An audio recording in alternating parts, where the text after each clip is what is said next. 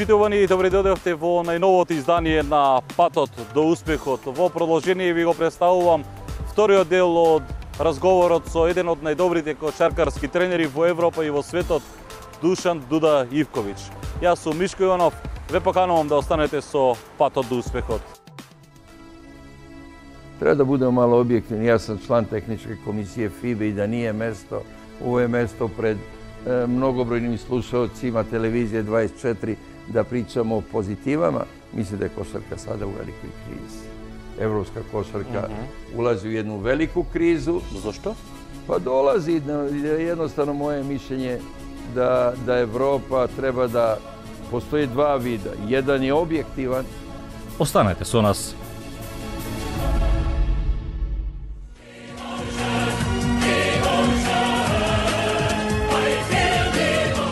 Душан Дуда Ивковиќ, еден од најуспешните европски тренери на сите времиња, во патот до успехот.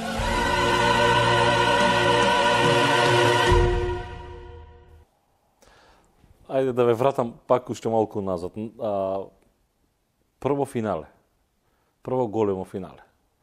А, тоа е некој посебно чувство, некој а, матрица, што се случува во главата тоа, што морам да го освојам или едноставно не, не, раз- не се размислува, едноставно што биде нека биде.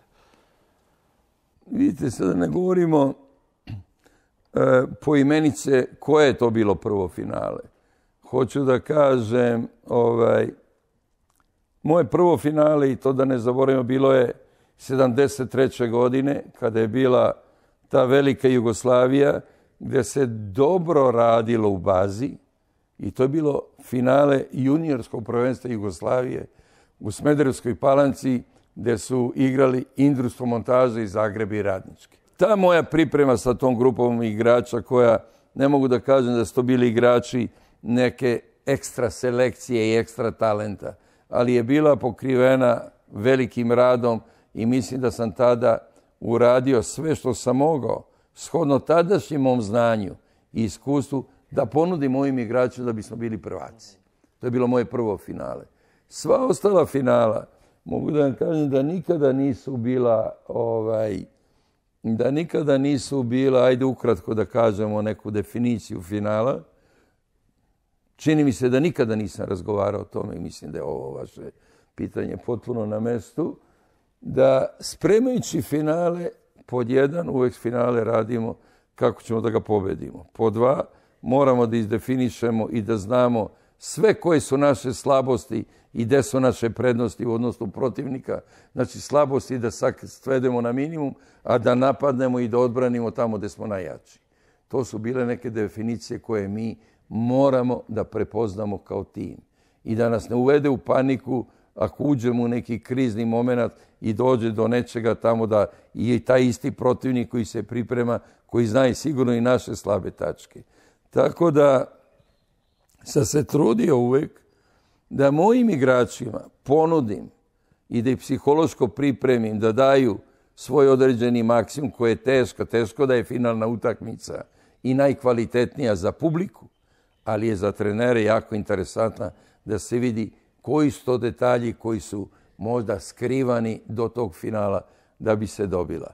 Tako da kada dolazi do finala, verujte mi da ja jednostavno držim sve to u glavi i nema nikakve šanse da izgubim kontrolu, recimo u vođenju utakmice ili same pripreme. Znam koji su sada metodi potrebni ako mi određeni igrač dođe pod pritiskom finala da ne daje ono što treba da uradi, to znam i pre utakmice koji su to mogući igrači da bude, tako da samo finale i vođenje utakmice za mene je najlakše.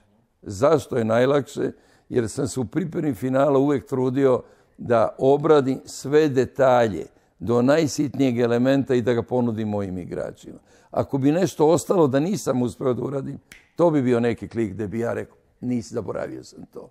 I mislim da tako da kada se, mogu da kažem, sad ne, znam koji je to procenat, a mislim da većinu tih finala imao sam tu sreću da su moji klubovi i reprezentacije izlazili manje više kao pobednici. Tako da taj moment nekako nije bio moment slavlje i euforije. Kod mene nije, a ne mogu da kažem da je to bila ni seta i tuga, već je to bio jedan moment gdje bih ja mogao da kažem da mi e, e, e, kao jedan blic kroz lavu prođe. Upravo to sve šta nas je dovelo do toga? Koliko rada koliko truda i svega. Tako da sam ja nekako svi skaču svi se grlje prolivaju se šampanjci pale se ne cigara. Ja kao da sam zadekl negdje došao, došao neki sa strane. Čak su me tad su me mnogi pa koč taj je s tom pa rekao ja sam odličan. Ne znate zašto prašam? Zato što не знам какво е чувството вие кога играте финале, затоа што ние како публика, како гледачи кои директно во салата, кои директно пред, пред екраните, а, трепериме на еж... уште кога ќе почне интонирањето на химната, ние се веќе веќе сме наежени. Како не знам како тоа од спортски или веројатно сам Па видите, овај управо та енергија, та хилма, та те све dlake koje se uzdižu gledajući finale, ona se sigurno prenosi sa gledališta kao to što osjeća taj gledalac, to se sigurno, ta ogromna energija je živa i ona se prenosi dole na nas sve koji se trudimo da na neki način damo ono najbolje što možemo.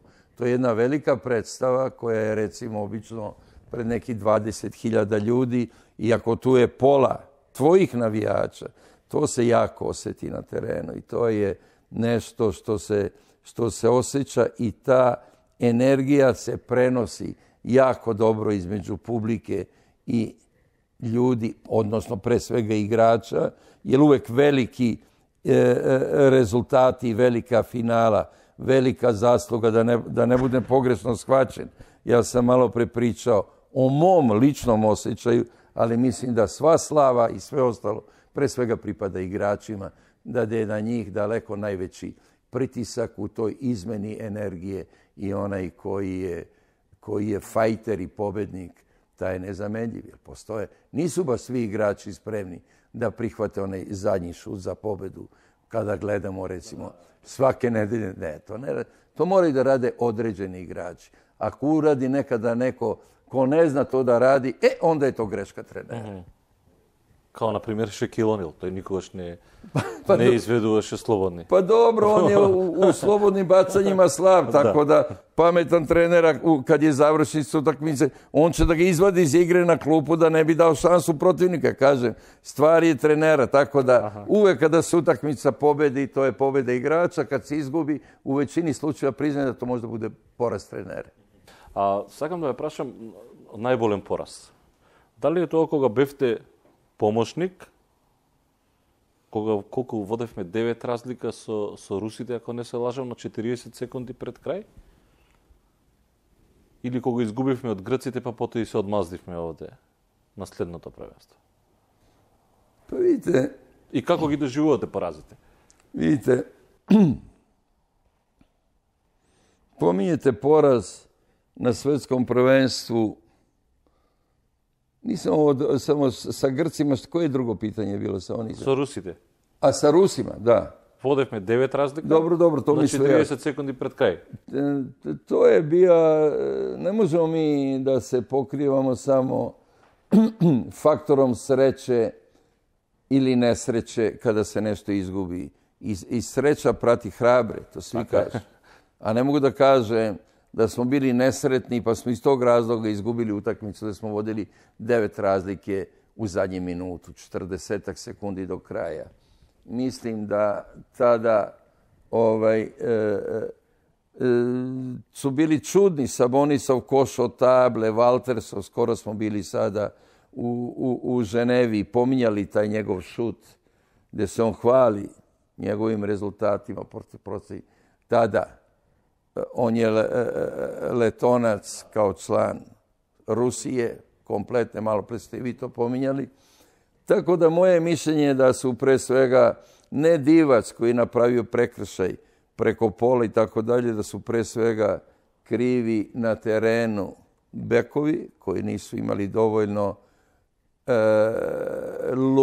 prisebnosti i hrabrosti da oni preuzmu odgovornost nekako su se posakrivali, a sada nikada nisam gledao to ponovno, mada je to davano na televiziji.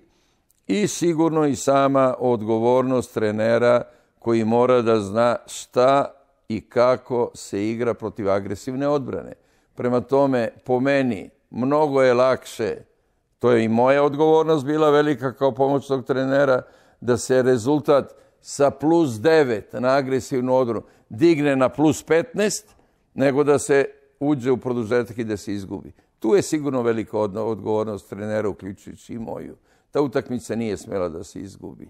Znači, ne mogu da krivim igrače, mislim u tog momenta da su se igrači sklonili i nisu preuzeli odgovornost, da su oni morali da znaju kako se igra kao što danas mora da postoji apsolutno pre početka utakmice.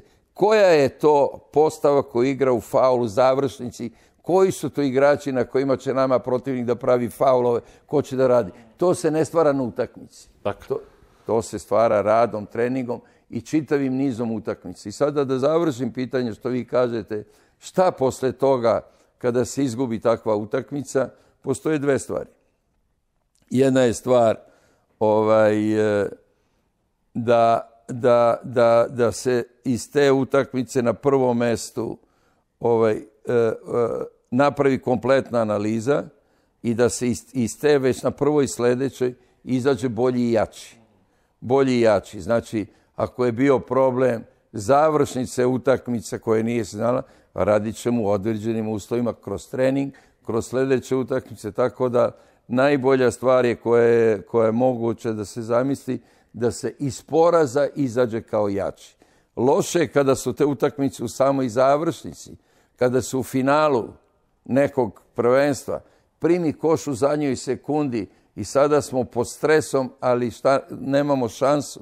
Koju šansu? Pa nemamo šansu da već za četiri dana igramo sljedeći derbi i to brzo pade u zagovor i onda to boli celo leto.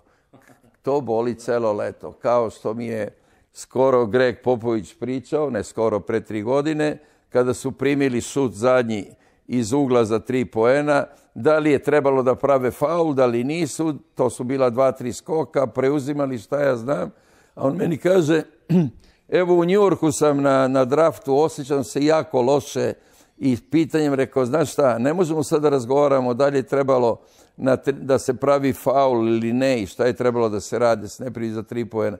Tebi je najveći problem da nemaš sljedeću utakmicu u najlepšem sportu na svijetu, da možeš odmah da izreaguješ, da se bude s tim.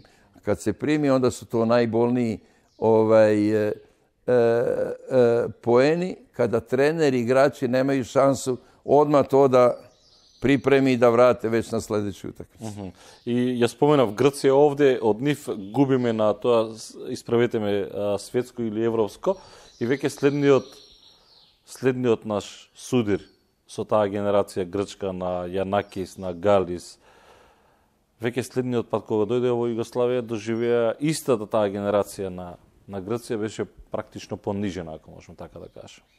Па видите, генерација Грка кои су били прваци Европе 87. године и они су дуги низ година играли, мислим, da su Grci imali, e, i pre svega Ari Solunski, gdje sam ja bio trener, doduše nisu bili Galis i Anaki zajedno, Galis i Anaki su bili veliki igrači i mislim da je verovatno, ako možda se kaže e, da je Ari Solunski bio nosioc grčke tadašnje košarke, da nikada nije osvojio titulu klubskog evropskog prvaka. To je, to je jedan moment. I druga stvar koja je jako ovaj, bitna odmah posle te 87. godine, kada su Grci bili prvaci Europe, mi smo već ovaj, 89. E, gledajući o tome tu generaciju igrača o kojoj smo pričali,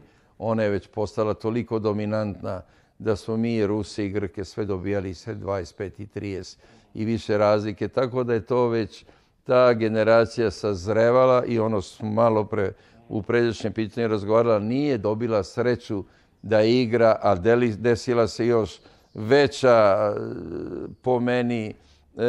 Ja ne bih želeo da ovaj naš razgovor ima ni ovolicko politike, ali da tadašnji političari su uspjeli kao vrhunac svega da ne samo da rasture jednu kompletnu zemlju, nego da dođe do građanskog rata i mnogo loših situacija. Tako da ono što se desilo mnogim ljudima i, i, i narodima, da ne pominjemo sada neki veliki žal naš zbog čega nismo imali šansu, to je šteta da nismo imali s Amerikancima, ali ta sama tragedija koja je dovela do toga, ipak to i dan danas e, vučemo određene posljedice tog vremena.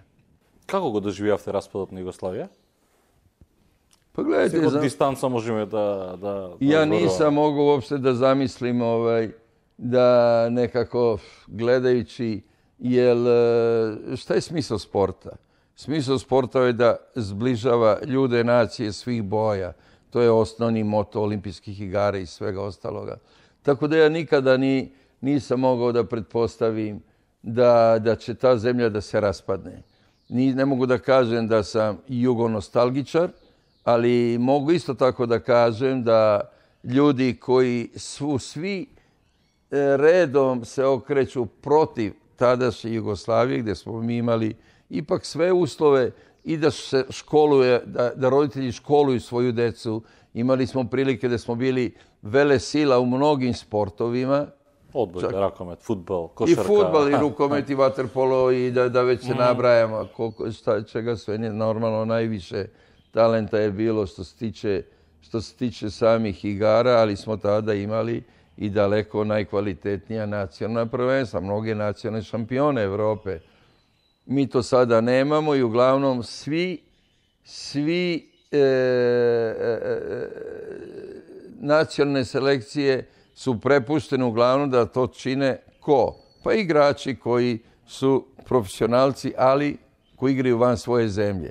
Nivo ligaških takmičenja u svim sportovima te lige u današnje vreme ili ne postoje ili su mnogo niskog nivoa. Da, ostanato je samo Crvena pa zvezda ne Partizan. Ne, ja sam veliki ljubitelj. Ne trener samo, ja sam veliki ljubitelj sporta i kako bismo pogledali recimo boks, kako smo mi, ligu imali.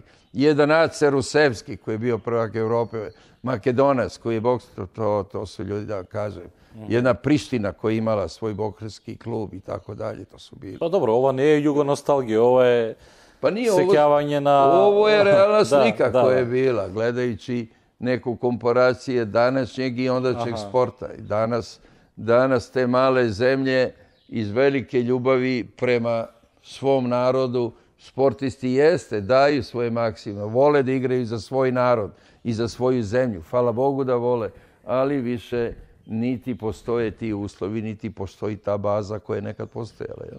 Da, i zato imamo takve ligi kako što imamo. Kako što lige ne postoje, da. brate. Miško, lige ne postoje. Dobro, isto i kaj nas. Ako vi je zuti. Nekada skoro je, ne znam ko, kojim povodom smo razgovarali, ovaj, Beograd u Todašoj ligi, kad je bio rabotnički ligaš, je imao četiri vrhunska prvoligaša u košarci. Govorimo o godini kada smo, prve godine smo već smo bili e, e, vele sila košarkarska i smo igrali na betonu, nismo imali ni svoje dvorane. A 69. kad je bila hala sportova, danas hala Ranko Žerovića napravljena na Beograd imao. Crvenu zvezdu, Partizan, Radnički i Beograd. Četiri prvoligaša koji su igrali svi utakmicu u jednoj sali. Ali tad je bila košarka. Da ne pominjem sada Ljubljansku olimpiju, Zadar, Bosnu budućeg prvog Evropa, Cibonu, Šibenku sa Draženom i tako. To su bila druga vremena. Tada, ovaj... Dobro, kada pogreši? Pa nismo mi pogrešili. Gledajte, ovaj, ono što je evidentno, greške treba da se, na greškama treba da se uči, kao što uči se i na porazu i svemu, ali nemojte da zaboravite, teška ekonomska situacija, političke krize i sve ostalo dovodi, pa to se najlakše reflektuje na sport. Tako da je mnogo teško da se da greška i određene iskustva treba da imamo i ovaj, doduše i druga su vremena. Menjaju se i vremena, tako da treba da budemo uvek spremni u novonastalim momentima da se izreaguje. а, баравте своевремено да се разбуди интелигенцијата Во Србија, тоа беше проблем и во Македонија. Ние сериозно имавме проблем со будењето на таа интелигенција. Може би затоа и прифативте да се појавите во таа предизборна, ако можеме така да кажем, кампања на Саша Јанковиќ, кој се кандидираше за председател на државата. Бевте... А, Ми мало пре овај, кажемо да da u ovome ne bude političkih pitanja. Pa ne je političko ne, ne, ne, pitanje. Ne, ali, pa jeste političko pitanje, ali ja imam ovaj, e, e, ja sam Ovo čovjek... Ovo je vam kažem nešto, ali sam ja čovjek koji ovaj, koji na sva pitanja odgovara. Ja mogu vama da kažem sada, ja na to pitanje neću odgovoriti. Gledajte, ja sam se pojavio u tom momentu, jer mislim da Saša Janković je bio ovaj, jedan ozbiljan kandidat, da jedan čovjek... Nije, ne ve, što ste se pojavili. ne, sad ću ja vam da kažem da je on jedna nestranačka e, ličnost bio i da mislim da je to bio za, za moju zemlju jedan dobar kandidat prema kome neko možda ima simpatije. Međutim, u samom tome što se tiče same kampanje, e, ja sam na neki način od samog nekog vrha, pa verovatno beogradske vlasti, isprovociran, da kada su me isprovocirali, sada ćemo da idemo u kampanju, iću i bos i go, da bi podržao Sašu Jankovića. Tako da posle tih provokacija, to nije bilo bez osnova, to je bilo puno rezona i osnova. Tako kad se završila ovaj, predsjednička kampanja, Saša Janković napravio jedan veliki rezultat. Za njega je glasalo nekih 600.000 ljudi, to je za jednu vanstranačku ličnost sigurno jedan veliki uspeh. Međutim, kada je došlo do toga osnivanja pokreta, da li bi imao sam ponudu da budem osnivač, da budem član upravnog odbora, rekao i stop.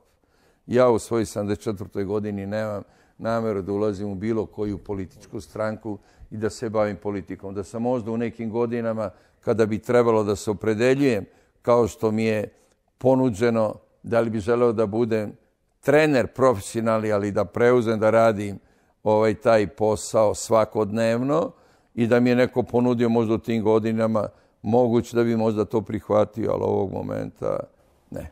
Не, а мене ми беше интересен моментот околу тоа барање на будење на интелигенцијата која што е заспана. Па, тоа е на секаде во целиот регион тако. Ја лично мислам да у целом региону имамо организован систем гледајќи разноразни шоу програми, разни реалити шоуе, да ми имамо практично, можда е груба речи, а се извинјавам луѓима, ali to je organizovano zatupljavanje ljudi.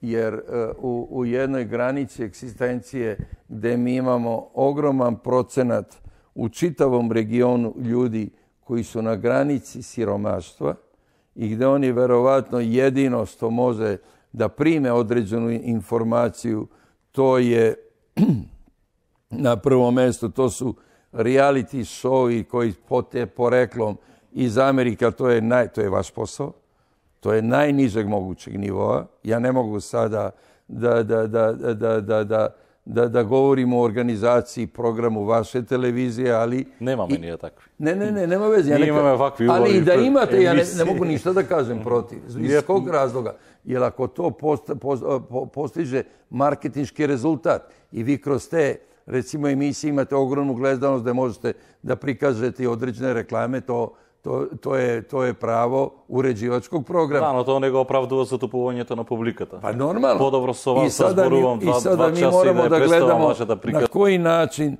публика се воспитава, на кој начин публика прима информације и оно што е било битно долази до некој одреđеног страха и на неки начин е, е, затупљивања комплетне публике, a sa druge strane imamo jednu kompletnu, čini mi se, prepuštanje od najranjijeg detinjstva, dece da se prepuštaju internetu i ovim svim globalnim igrama, gde praktično vrlo teško primajući sve te kompletne informacije, ja ne mogu da kažem doći će do amnezije, ali mi praktično nemamo neku situaciju kako ćemo da razvijemo vizije i, i kako će ganglije u mozgu, mozgu da funkcionišu.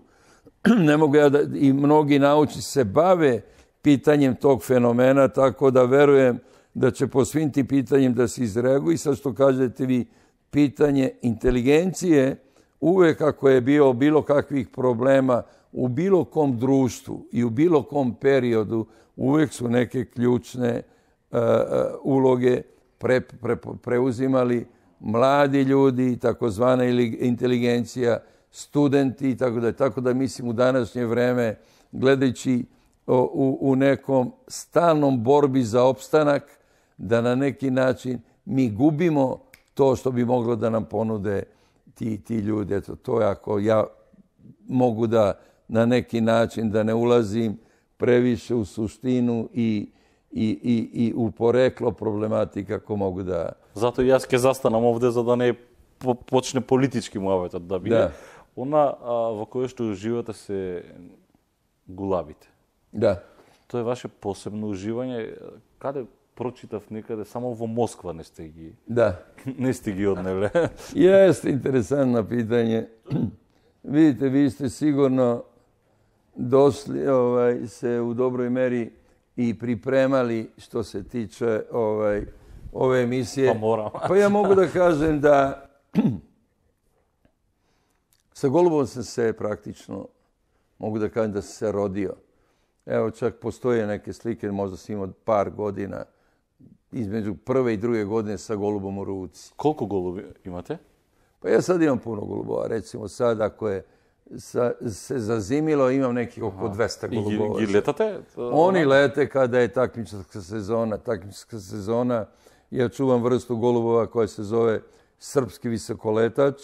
To je ovaj, e, e, sportska vrsta goluba E, traži jednu kompletnu angažovanost, tako da ja mislim da traži mnogo vremena, ali sam ja uspeo recimo da selektivno napravim kvalitetnu pticu, mogu da kažem moju pticu i mogu da kažem da su ti golubovi postigli vrhunske rezultate.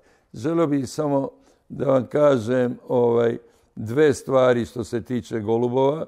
Pod jedan, to je jedna velika, nešto više od ljubavi i hobija, to je možda i više od strasti i to bi mogao samo da shvati jedan, recimo, odgajivač golubova i odgajivač nečeg sličnog ptica, životinja ili bilo čega drugog. Druga stvar koja je možda interesantna kroz ovo vaše pitanje je ta da ja kao trener profesionalni u odabiru mesta boravka kuće ili bilo čega sam uvek imao ovaj jedan član ugovora koji je glasio da mora da mi se obezbedi mesto gdje ću ja moći nesmetano da postavim moje golubarnike i da čuvam golubove.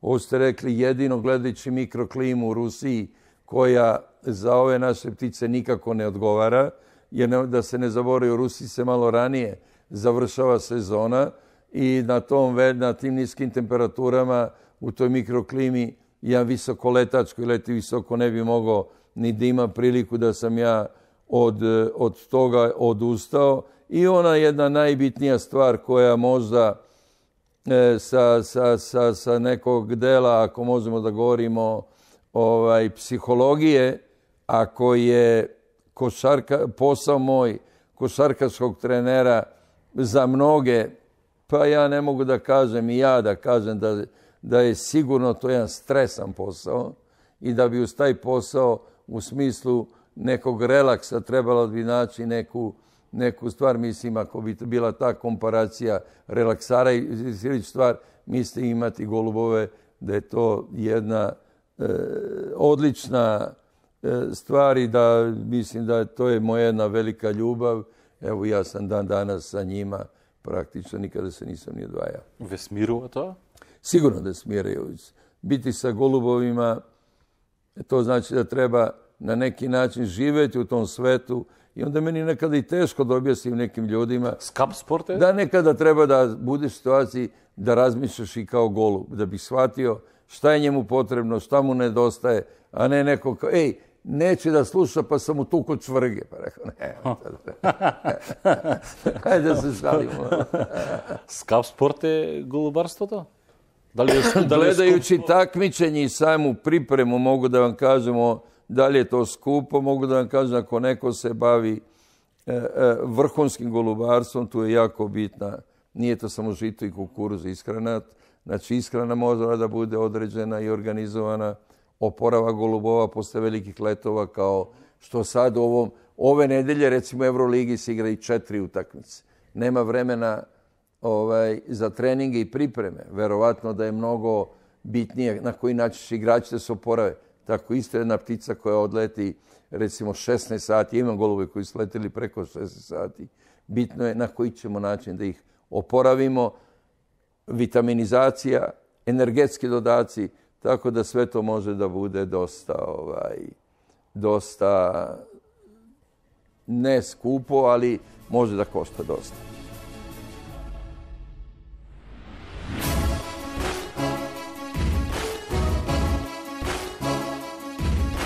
А еве што ќе следите во продолжениот патот до успехот. Звао ме скоро некој данас изашол политици да каже победио сам Крижевског три пута. Имај ту победу u koleđu. Pa ja nikad ne kažem pobedio sam trenera, jesam dobio utakmicu. Nikada ne kažem moj igrač. Ili napravio se, da, ja sam dao šansu igraču, trenirao, gledao ga da ga unapredim, ali nikad nisam rekao moji igrač. Ostanajte s nas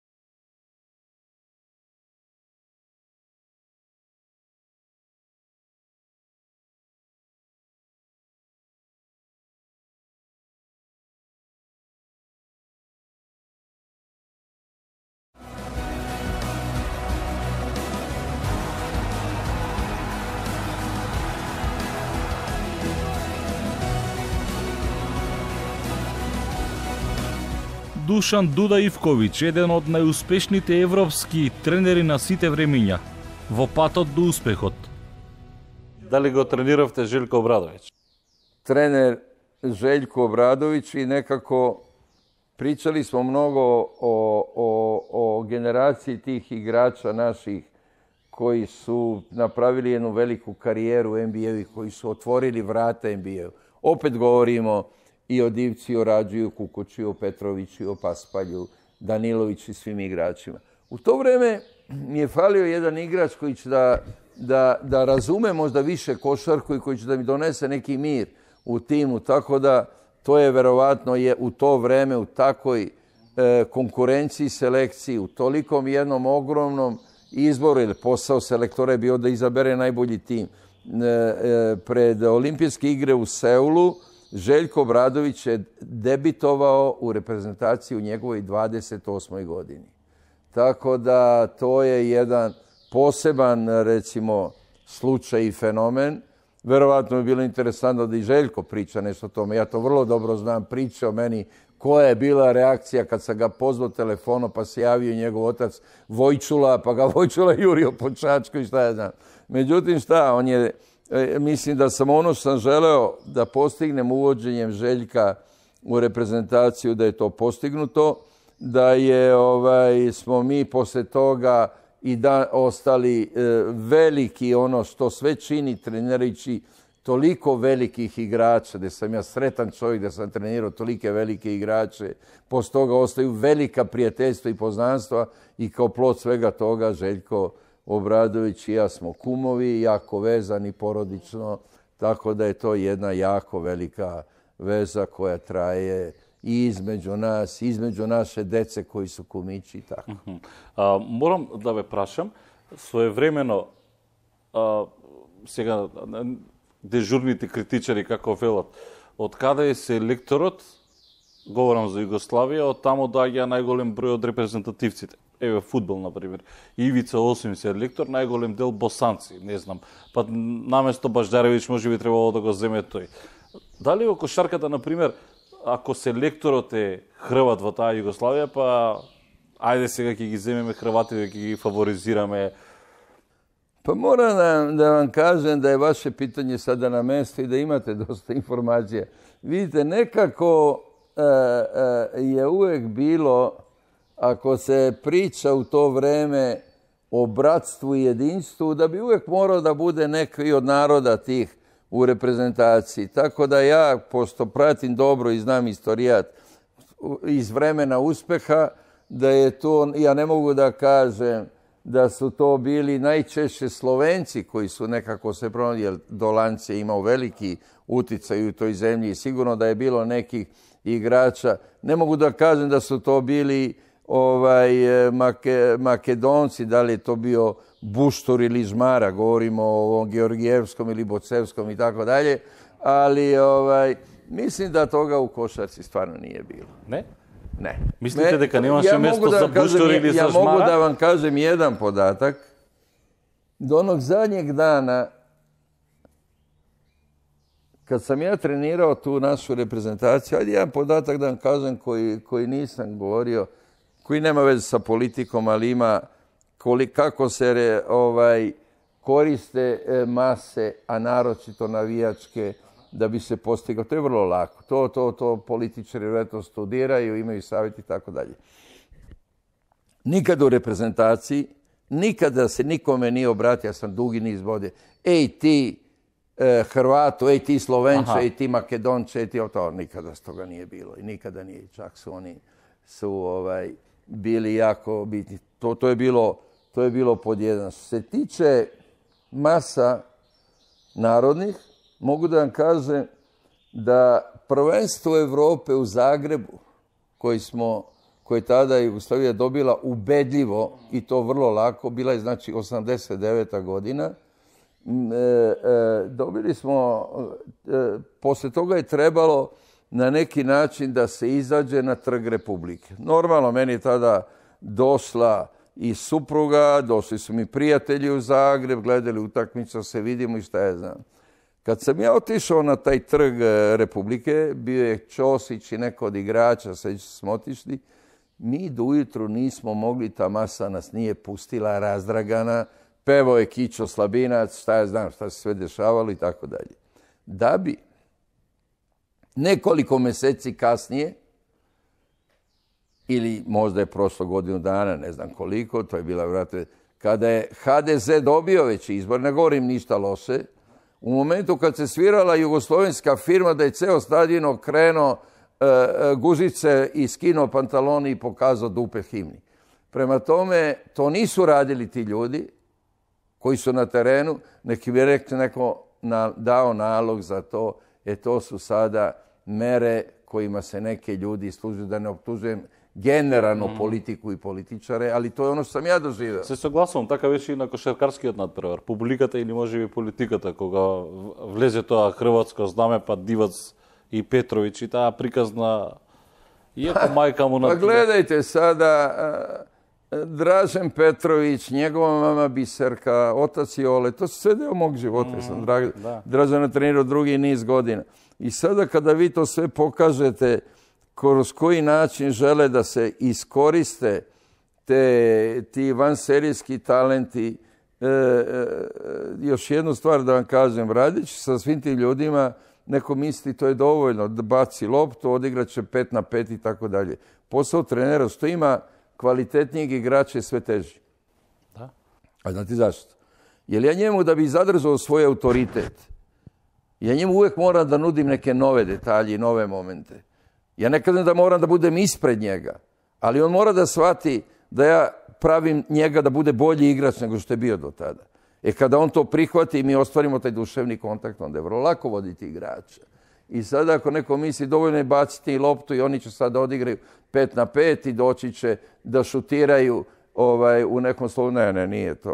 Voditi ovaj, super stara ja sam srećen, tu treba eh, jedan pre svega duševni i emotivan kontakt mora da bude na najvećem mogućem nivou. E sada kada se sve to desilo, svi ti, sve ti pokuši ESPN, jednom braća, nikad braća ili šta ja znam kako se zove taj film i tako dalje, to su neki, neki pokušaj koji se prave. Ja se nadam da je ovaj naš razgovor je nešto iskreno i otvoreno. Тоа е, koje... сега ќе ви кажам, бидејќи веќе правевме ние разговор со Бисерка Петровиќ, која што го раскажуваше патот на Дражен Петровиќ, и таа вели дека тоа е помалку американизирано, така Па не е нормално. баш Pa, hvala не Bogu. е баш така. Pa dobro, Pa ja vi to raskaže vrlo za nas, dobro znate. ja- ja raskaže vi to vrlo prikazno dobro to. znate kao novinar, ja opet ponavljam. Ja sam veliki prijatelj, bio sam trener Draženom i Biserku i Olote i Aco, sve je to deo, deo mog života i prijateljstva, ali nažalost dešavaju se neke stvari koje ne zavise od nas. Да.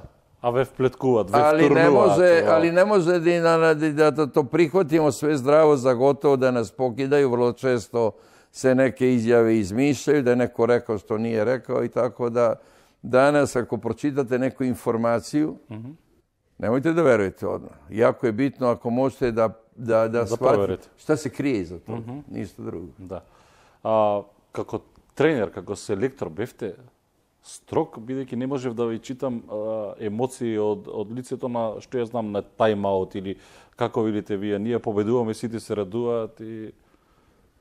Видите, авторитет тренера, дали е строг или какав е, па то би вратно други требали да, да говоре. Не, зато што да... различен темперамент е Лазо Лечичко. Па што... слажен се, слажен се некада, овај, i trener može da bude motivator, da razne, lično mislim pominjete time out, da trener ne može da zavisi od toga kada uzme time out. Da, bitno je u nekom kriznom momentu gubitka trenera e, kontrole igre da uzme time out, ali taj tim za jedan minut ne može trener mnoge stvari da definiše i da uradi. Jesu bitni time outi, ali kao, kao uh, uh, staviti kategoriju trenera da li je strog temperamentan, agresivan, neagresivan i tako dalje. Ja mislim da sam da je teško da ja dajem karakteristiku o sebi.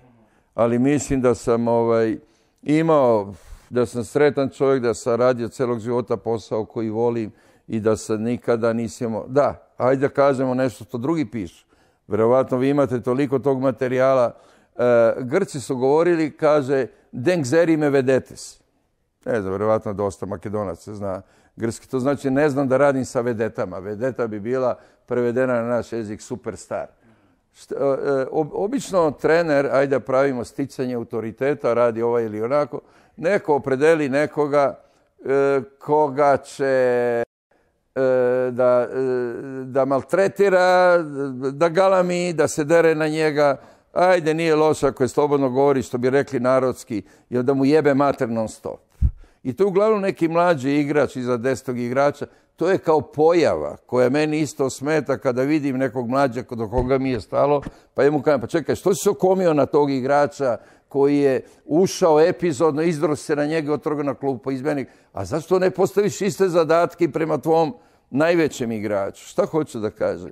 Ja sam verovatno uvek tražio od najboljih igrača, ne zato što su oni najbolje plaćeni, nego najbolji igrači koji najviše može da daju. Ja sam postavljao određene zadatke da moraju i da, da napreduju, da usavršavaju svoju idejnu tehniku na prepodnevnim trenizima gdje su oni mogli da biraju da li hoće ili neće.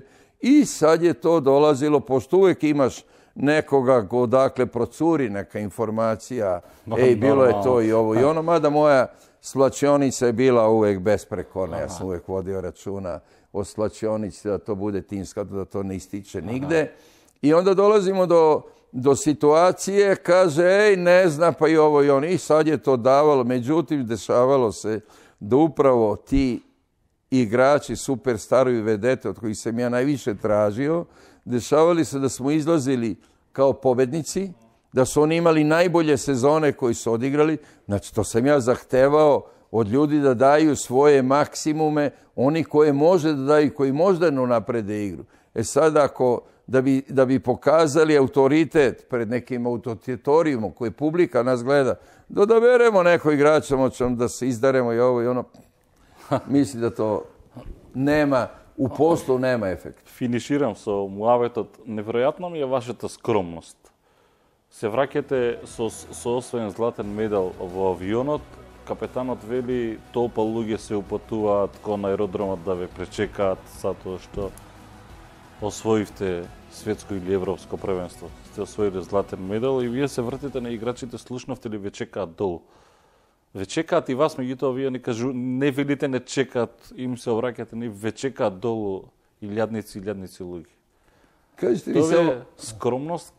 vidite, ja, ja ne kažem da je bilo je tog pitanja i ovaj, imao sam e, dosta i vi to sada postavite kao pitanje i ovaj, e, recimo imao sam intervjue i u nekim, ako može se nazove, nedeljnicima koje su manje više e, su im udarne teme političke i sada ljudi kažu recimo skromnost ja smatram da to nije vrlina. Skromnost je nešto kako se neko ponaša i kako želi neko, recimo, vrlo često da, da, da, da zgrabi, da prikabi neke stvari koje njemu ne pripadaju, da pripadaju njemu.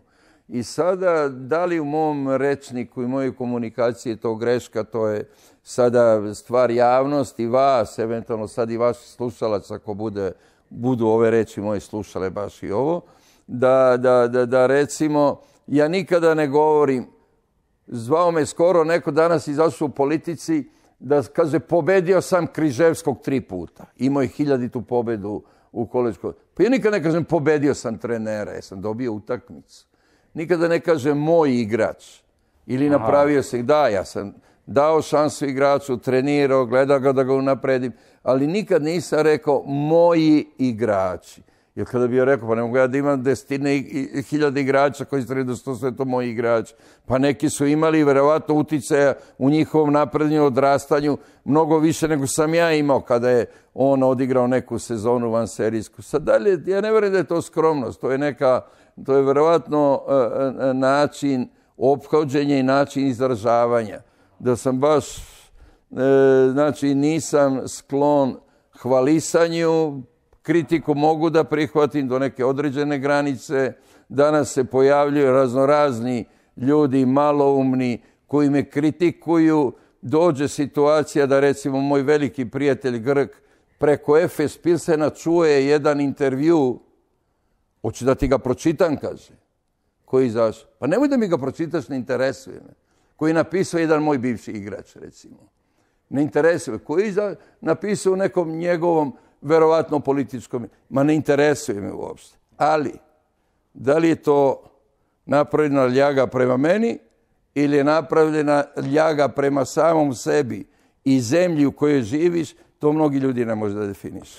A, gospodin Ivković, danas ste oženet, penzioner, tatko na... Dva, dva sina. Dva sina, nekoj košarke igra nešto ili... Obojica su...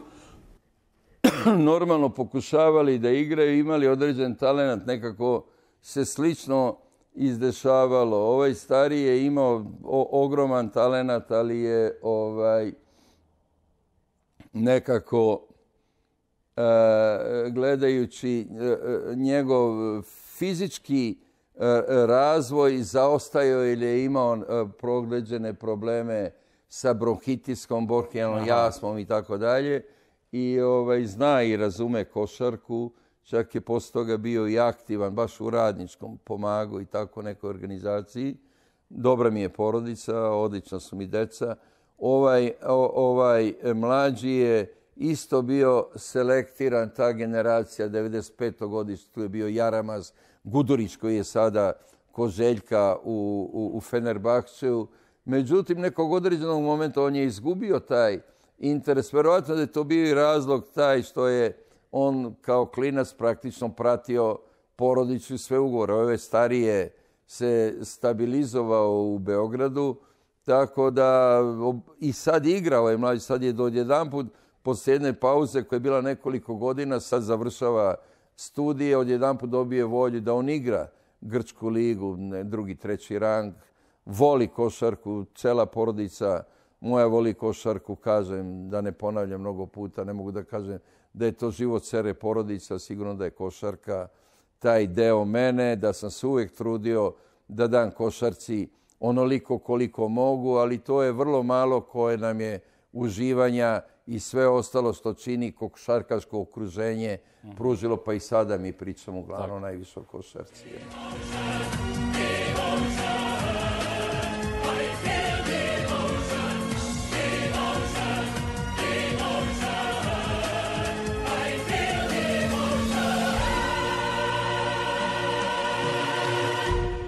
Тони Ивковиќ ми беше драго што прифатите да бидете дел од овој сериал Патот до успехот. Јас го сакам овој пензионерски денови, ама не можам да ја замислам како пензионер. ја мене е драго да смо провели некој време да. заедно. Желим вама лични успех, целој вашој екипи, телевизија 24, па кадо што во Beograd, јавите се. Благодарам. Многу здравје. Се најголе, се најголе.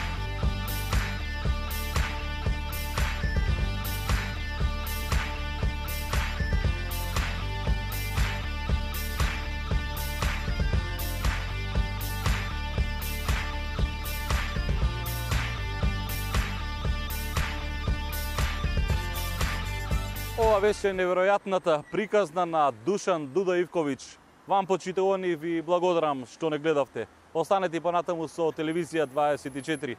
Патот до успехот, нова епизода за 7 дена. Довидување.